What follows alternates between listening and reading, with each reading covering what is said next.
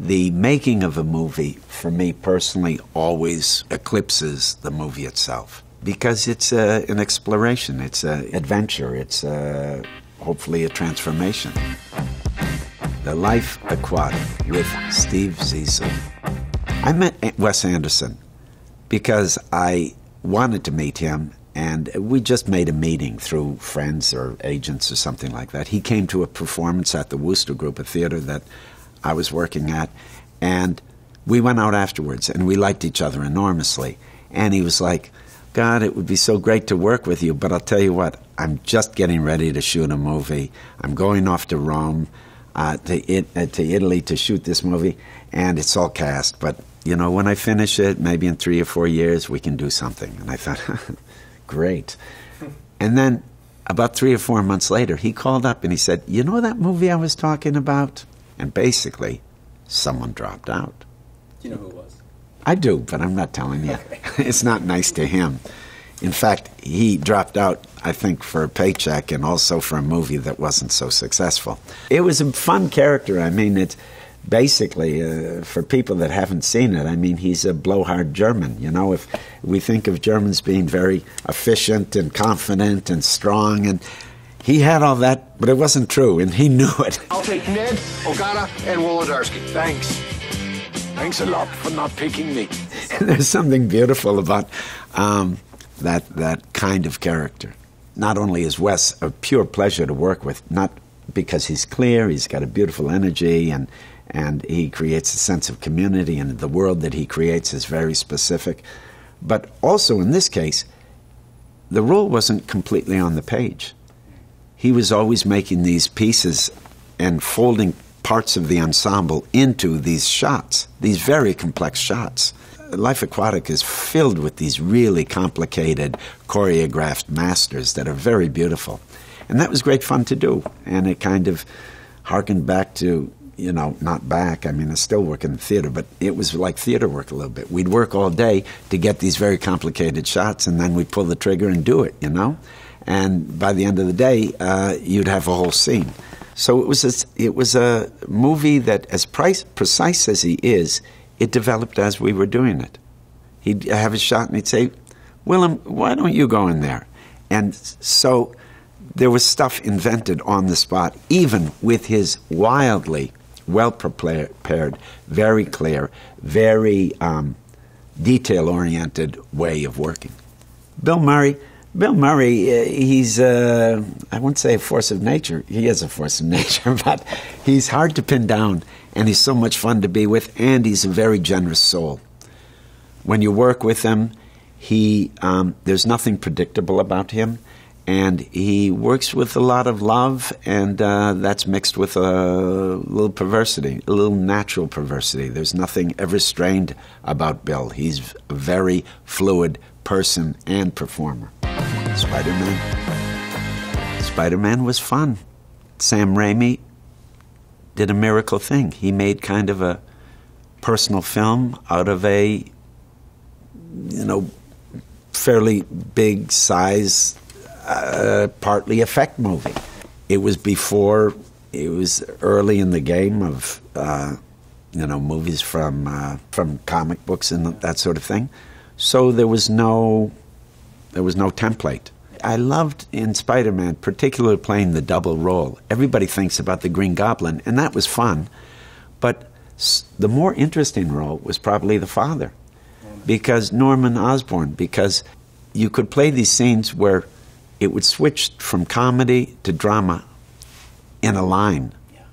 Uh, I think of the scene where um, they have like a Thanksgiving dinner. There we are. Oh, it looks delicious. Norman? Will you do the honors?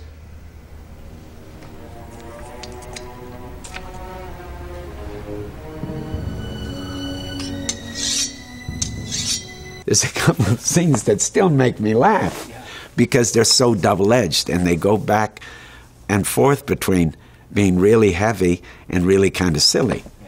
And the movie is filled with that.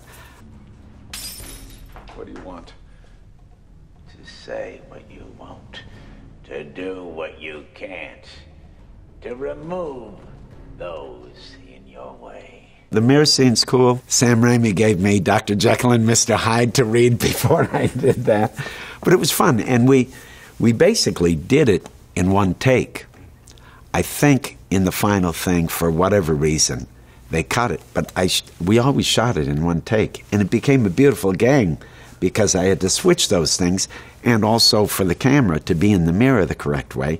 And I had to dance with the camera a lot on that scene there were a lot of mechanical effects in that because I think uh, some of the visual effects weren't so sophisticated then, and they were really fun to do. To be on a wire, to fly around.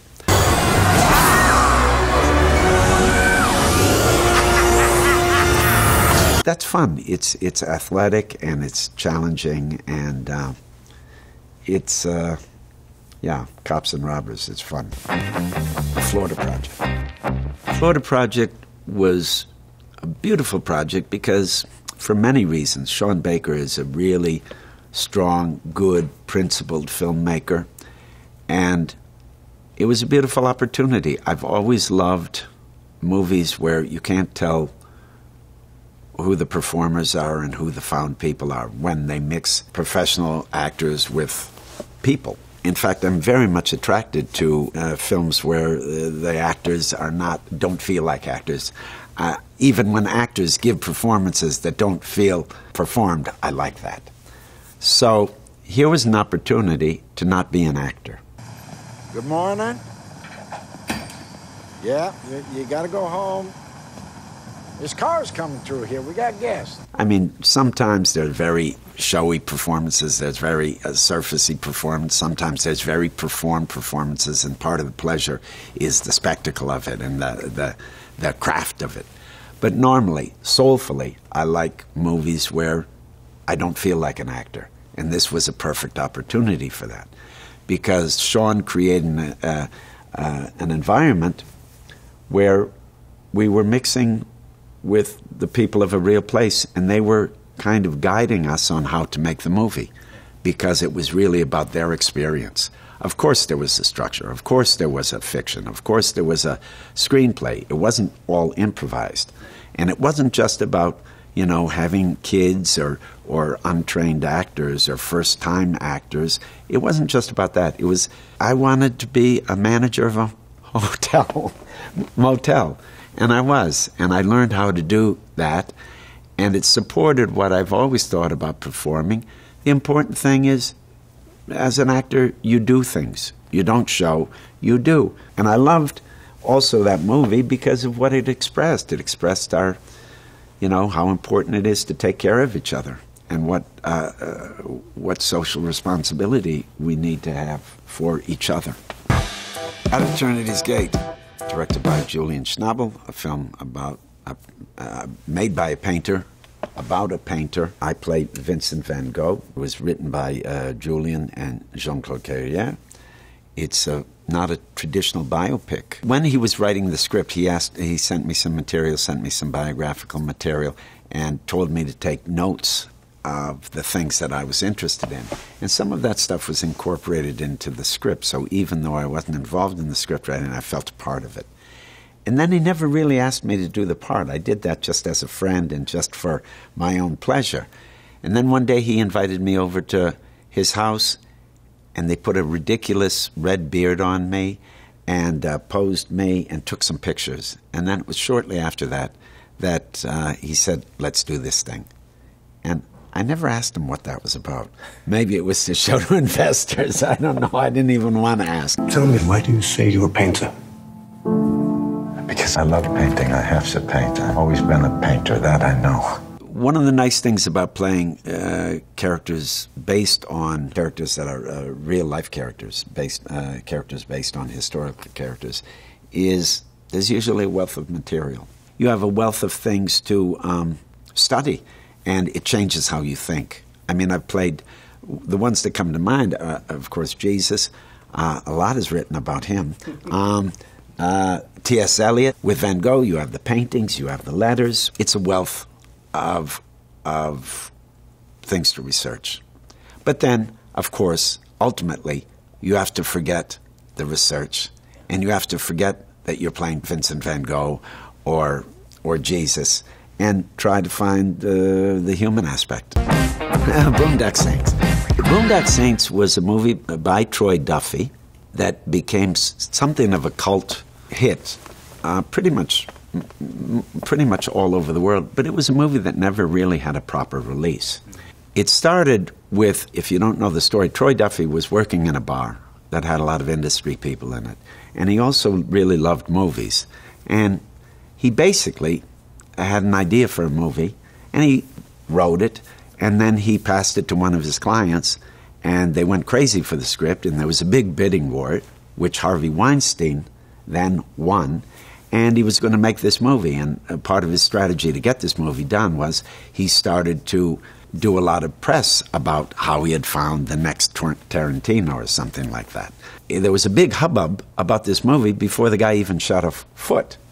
But then they started to have arguments about the casting, is my understanding, and it was put in turnaround. Then a company uh, picked it up, and in that in that version, then I was cast as this character Smecker, who was a very interesting character. He's a, a very intuitive uh, detective. I'd like to thank whichever one of you donut munching barrel asks pulling sissies leaked this to the press. He's he's gay, but he he has a special connection to classical music. There's many things that are interesting about him. It's basically a comic performance uh, mixed with action stuff and fun, uh, kind of politically incorrect things. I think that's why uh, it has a big f- following. There's a, you know, I can tell up when a certain person comes up to me, I know what movie they're going to talk about. It's that kind of movie. Platoon. Platoon was very important um, for me because not only is, was it a movie that I, I like very much and I loved the experience of doing it, but it also changed a lot of things in the sense that it was one of the first movies that was both a critical and popular success, and it was my first Oscar nomination.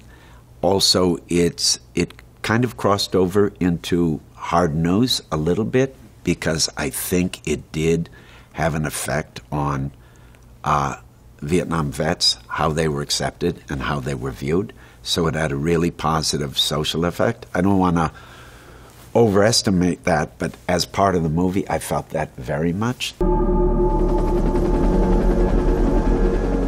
you're going to get killed in the Nam, it's better to get it in the first few weeks. Also, the preparation was really uh, intense and wonderful and a little irresponsible. You probably couldn't do that now.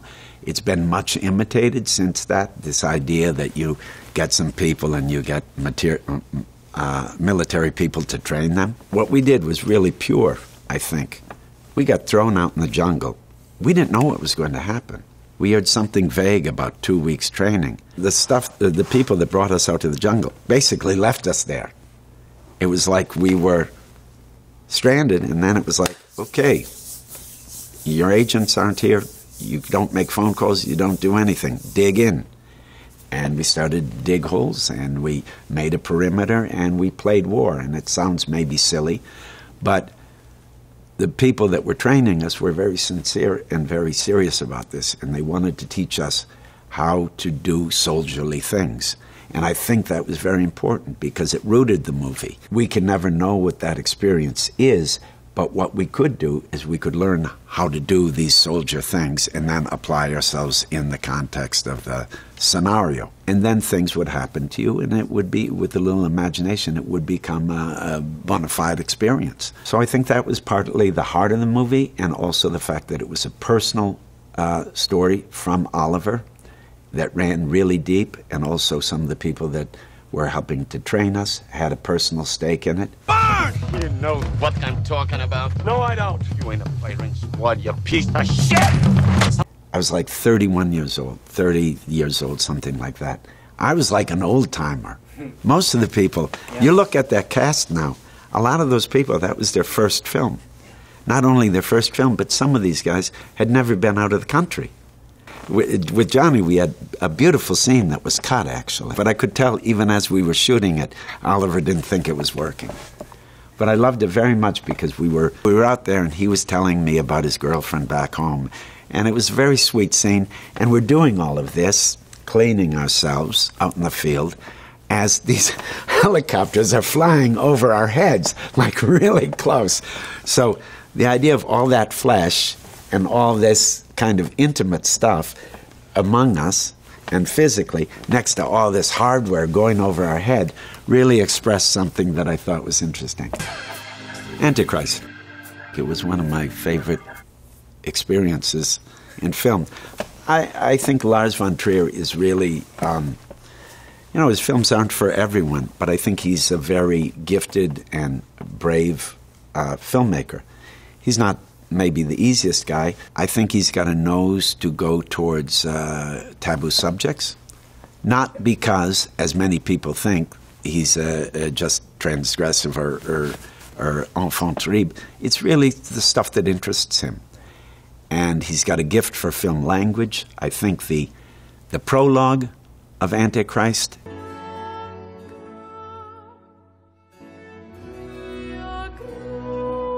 and the epilogue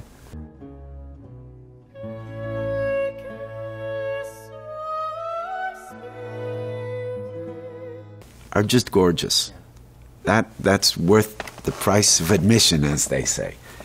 And then uh, the rest of the movie, of course, it's difficult. Of course, it's ultra violent in, in places. But I think it, it explores some really interesting things about motherhood, about sexuality, about guilt, about mourning, about mental illness, about myths about uh, certain things about women's uh, power, men's fear of women. Very delicate subjects. I think it really hits them head on. Some of my favorite films are films that express uh, sort of the making of them. And Antichrist was one of those that um, it looked like it felt. I do watch my uh, the films I've been in at least once. So, because I'm curious about how they turned out. But generally, I don't linger. I mean, you know, really, when I see a movie, it's not going to really, I don't like to think about studying it or learning from it. I think you learn in the doing. I enjoy movies, but when it's my own, it becomes too egocentric to really study it or look at it too much. Shadow of Vampire. One of the beautiful things was that was a film where I worked from imitation. And imitation has its limitations, but it's also a beautiful way to work because it frees you. And I worked with a mask, a literal mask and a metaphorical mask, you know? Did I kill some of your people, Murnau? I can't remember. And that's that also frees you. So I felt very free to goof around, to have fun, to be perverse, and to be this, you know, otherworldly character. The basic conceit, uh, the basic idea behind the film that, you know, uh, this director, Murnau, is going to use a real vampire, you know, in the movie about a vampire is kind of a, a joke and seems kind of facile or, or simple, but it, it, the way it plays out was pretty interesting. And you can mix elements of real horror and uh, comedy, which is tricky. Um, but for me, it was a dream because I had this heavy mask. I had a great model in the original of Nosferatu. So the movement and, and how to look and how to act, I could copy start from there. And then once you're copying, it frees a certain energy that you would normally imagine you'd, you'd use on invention to play around. I don't know. I, I just felt very free. I felt like I wasn't there. It, it played into a kind of uh, boyish sense of play and invention. Greta is in your last scene. That is when you can have her. After my death scene? Yes. Don't expect realism there, Murnau. What do you mean? Don't cheat me, mortal. Nicolas Cage was a, a producer on it. And originally, I think this was something he developed for himself. It, it, it, was created by his company or developed by his company. And I think originally he was going to play Nosferatu. And I don't know whether he got busy or the project was too small or for whatever reason, he started looking for other casting. I think he cast already John Malkovich as Murnau, and he didn't know who he was going to cast for the vampire, and he cast me. And I remember right before we were ready to start, Nick came in and we did a table reading. And he's a very inventive guy. I've worked with him on Wild at Heart and also on Dog Eat Dog, uh, Paul Schrader movie. And I like him a great deal, and he's fun to work with. But at this table reading afterwards, he had lots of ideas, and we're going to shoot the next day. And he had some ideas about how he wanted the uh, the vampire character to be a movie fan. He thought that was interesting. And for me, I thought that ruined the whole idea. So I kind of argued with him. And I went back to the hotel and I thought, I'm going to get fired. I've just had a, had a serious argument. And maybe when I get attached to something, uh, maybe I'm not always polite, you know? I had a serious argument with him about this idea who knows whether the idea would stay? He's a pretty impulsive guy. But he was gone the next day, and we proceeded as normal, and uh, uh, I enjoy the movie. Wild at Heart. David Lynch was one of the uh, most fun people to work with, and it was partly because he was so clear. He gave me a beautiful setup. People imagine sometimes that, you know, a good actor's director is someone that talks to you and pulls you aside and tells you how to do things. That hasn't been my experience. My experience is they create a world or they create a setup or invite you to collaborate in such a way that there's a logic to what you're doing. You're clear, and the beautiful things happen in your presence or your commitment. You're experiencing the things that are happening. The best experiences are always when you get a good setup, and David Lynch gave me such a good setup and really didn't give me any choices, like in terms of costume. He's, he basically brought this thing out on a hanger and said, Willem, this is your costume. And I was good with that. Normally, you'd have a conversation with the, this is what I think, this is what you think, blah, blah, blah. but it was very direct. And I responded immediately to it. And then he said, uh, we got to send you to the dentist. And I said, why? And I read the script. I, I know that he had stumpy discolored teeth, but I made the assumption that we'd just do it with makeup. He said, "No, no, we gotta we gotta make you some dentures." And I thought, wild. So we had these dentures made, and they were the key to the character. Those are dummies. Dummy. I got those teeth, and it kept my mouth open like this in a way that, you know, I was able to tap into a kind of lasciviousness, you know? You go like this, you know, and all of a sudden you start sitting differently, you know, you start, you start feeling differently. That became the key. It shows that actors sometimes, left to their own devices, put limitations on themselves, because I would never thought of that. Right. Strangely enough, I just assumed something. It wasn't studied, it was kind of intuitive. But I think Bobby Peru is uh, one of uh, my most complete characterizations. the Last Temptation of Christ. I played Jesus Christ in The Last Temptation of Christ. It demanded a lot of me, and when I was finished with the film, I felt finished. And that's a wonderful feeling. You felt used. You felt like you you directed some energy in a in a way and you couldn't do any more. Martin Scorsese had made this movie in his head ever since Barbara Hershey gave him the book Last Temptation. He knew it so well. He tried to make it before. This was like the second time he tried to do it. It was a very low budget movie. When I get a call from my agent saying Martin Scorsese wants to talk to you, I was like, for what? He said, Last Temptation of Christ. I was like, for what role? He said, stupid, for Christ. And I thought, that's weird. And then I read the script and I said, ah, this is beautiful. And I met with him in the most direct way. Went into New York because uh, I, I was someplace else at the time, and we had a short conversation. And he said, "Okay, let's do this thing." How I entered into that was quite simple and quite surprising. And it was very clear that, uh, you know, the emphasis was to find the human aspect of Jesus. And the first thing that I had to do is forget I was playing Jesus and to cleanse myself of certain kinds of expectations. Maybe this relates to what I said before about, you know, a performance that doesn't feel acted. I had to find how this very historic character, uh, how he was a human being, you know. Can't he see what's inside of me? All my sins. We all sin. Not my sins. I'm a liar, a hypocrite. I'm afraid of everything. I don't ever tell the truth. I don't have the courage. And of course, the script and the whole everything supports that. But it was a beautiful, beautiful experience. We shot in Morocco, no trailers, down and dirty, shoot, shot fast so that we never got, you know, seduced into any big pageantry or got distracted. It was so essential.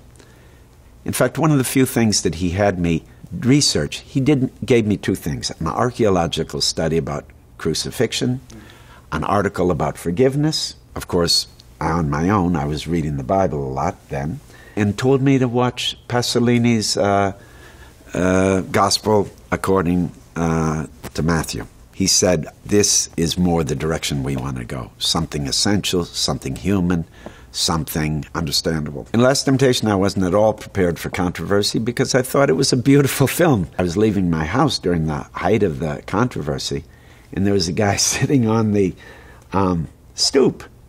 And I was walking out, and he said, Hey, man, you, you made that Jesus movie, right?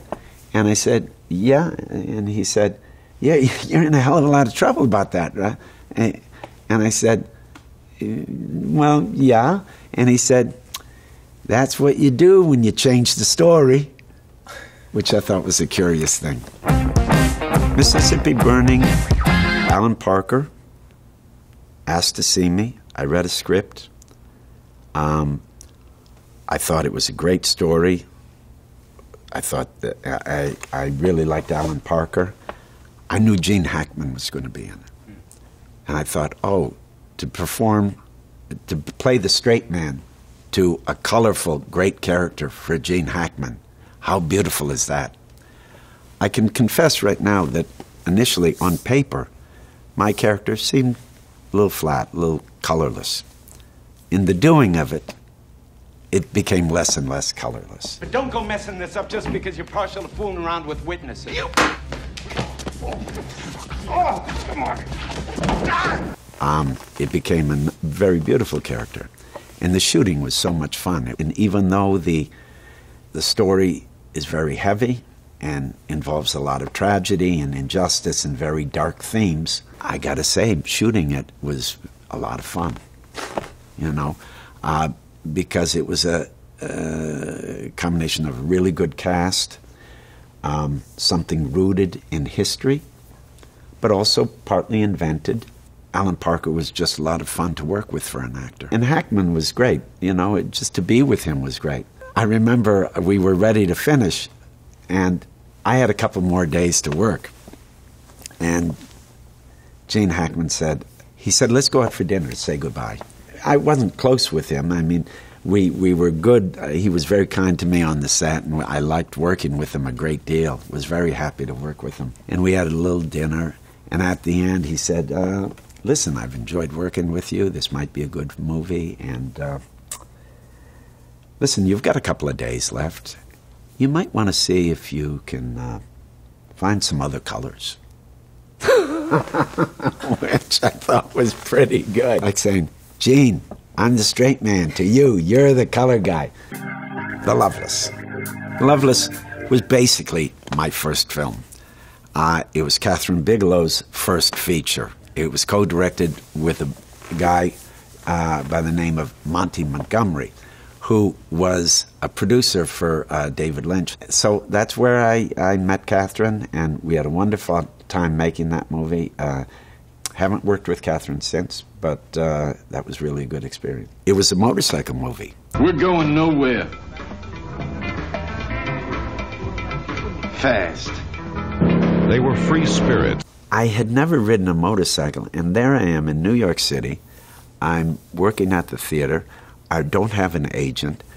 Kathryn sees me in a theater piece at the Wooster Group in downtown in New York, and they call me up and say, "We want to send you a script. I, we want you to be the lead in this movie." And I read it, and I say, "Great, yeah," and I want to do it but I don't know what to ask for or anything. I, I, am not part of the, the movie world, right? And then they talk about, I don't want to lose the part, so they say, Have you ridden a motorcycle? Of course, classically. What does an actor do? They lie. I say, uh, uh, Yeah, I have. Uh, you know, I haven't ridden in a while, but, uh, you know. And so they say, I get this part, and they say, Okay we're going to go out to Connecticut to ride on this, you know, 1955 big Harley hog, you know? And I think, oh my God, what am I going to do? I don't know how to ride a motorcycle. So I start asking around if anyone has a motorcycle. I'm a young kid in, in New York City. I don't know anybody with a motorcycle, much less a, a 1955 Panhead, you know, a big machine. And that's before the internet. So I'm going to the library to get a book on how to shift, you know, is it one down, two up? You know, I'm, I'm like, I'm wrapping it around in my head. So we go out there. I still haven't confessed that I haven't, uh, you know, ridden a motorcycle. And I get on that machine and it takes off with me. I go riding, you know, it takes off with me. I go, you know, through backyards of uh, some fancy neighborhood in Connecticut where this impeccably, lovably restored 1955 Harley Davidson you know, uh, was housed. So I think they figured that out pretty quick, but they were patient with me and I learned how to ride. Mr. Bean's Holiday. I mean, it was a strange choice for me to do. Um, I was happy to do it and it was fun to do. I think one of the reasons I wanted to do it is I always remember Rowan Atkinson, not so much from Mr. Bean, but, but from Blackadder. And when I saw Blackadder, I just thought this guy is fantastic the highly artistic but also highly illegal set of French lithographs. Everything. the amusing clock where the little man comes out and drops his trousers every half hour. I was really sucked into what he was doing, so the idea to work with him was great fun. And then also the character I play, once again, kind of a blowhard. What's the pattern here? Um, was a uh, very full of himself uh, art filmmaker. The guy with the video camera is fired. Uh, so that's something I know a little something about. one of the things that we did that was really crazy is one of the scenes happens at uh, the Cannes Film Festival. So we stole the red carpet in Cannes. I think we had permission, but I'm not sure. We, on the uh, red carpet of a, a Portuguese filmmaker named Pedro Costa, who's seen, whose films are very serious and very strong, we invaded his red carpet. I felt guilty. I, I, morally thought it was the wrong thing to do, but uh, we did it anyway. Uh, so that was fun. To live and die in L.A., Billy Friedkin, really fun to work with. Good script, interesting character. Um, I'm driving around in a uh, Ferrari. I've got a beautiful house. I'm also getting to learn how to print money. That was really fun and really fascinating. That's one movie that I've looked back at and I thought, you look like a little kid, you know, eh, eh, but you're playing such a heavy character. And I remember when I was in New York when I was younger and I'd be going out to clubs, sometimes these real imposing guys would say, Whoa, it's Rick Masters, you know.